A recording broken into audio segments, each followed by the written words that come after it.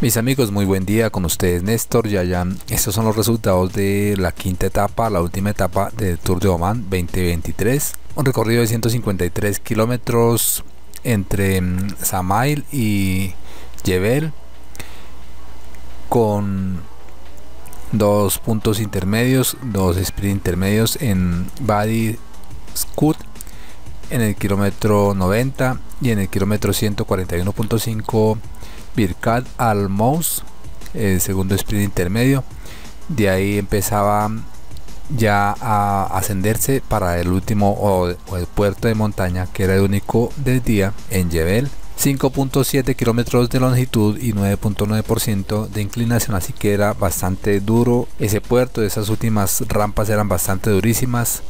Eh, obviamente que era para puros escaladores los que se iban a disputar esta etapa cuando terminaba el terreno plano el grupo iba grande pero a medida que se inclinaba hacia arriba se iba reduciendo hasta quedar un pequeño grupo para disputar la etapa con mucha dificultad. Matthew Jorgensen se mantenía en ese grupo y disputaban el sprint final, sprint hacia arriba y era Mauri Van Zenevan el que se quedaba con la etapa de Saudal Quickstep mientras Mateo Jorgensen se quedaba con el triunfo final, el triunfo de la general. Así quedaba la clasificación de la etapa, entonces Mauri Van Zenevan de Saudal Quickstep era el ganador de la etapa con 3 horas 53 minutos 51 segundos, segundo Matthew Jorgensen el inicial líder con el mismo tiempo, tercero Geoffrey Bouchard a 12 segundos, cuarto Rentaramae a 22 quinto Maxim Van Hills con 37 segundos, sexto Diego Ulises 37, séptimo Cristian Rodríguez 58, octavo Jesús Cerrada con los mismos 58, noveno Carlos Verona, un minuto. Y décimo Cian Ulterbriek con 1.12.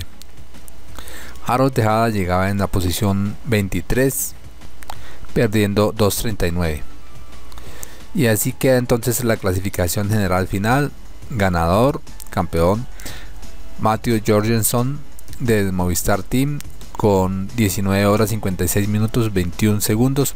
Segundo lugar, Mauri Van Zenevan con un segundo de diferencia. Tercero, Geoffrey Bouchard 28 segundos. Cuarto, Rain Taramae con 46. Quinto, Diego Lisi 48 sexto Maxim Bank Hills 58, séptimo Jesús Cerrada 1.20, octavo Cristian Rodríguez 1.22, noveno Cian Curtin Deck con 1.36, décimo Carlos Verona 1.37, en la posición 20 queda Harold Tejada perdiendo 3.07. Eso es todo lo que tiene que ver con esta carrera. Gracias por su atención, gracias por compartir y hasta la próxima.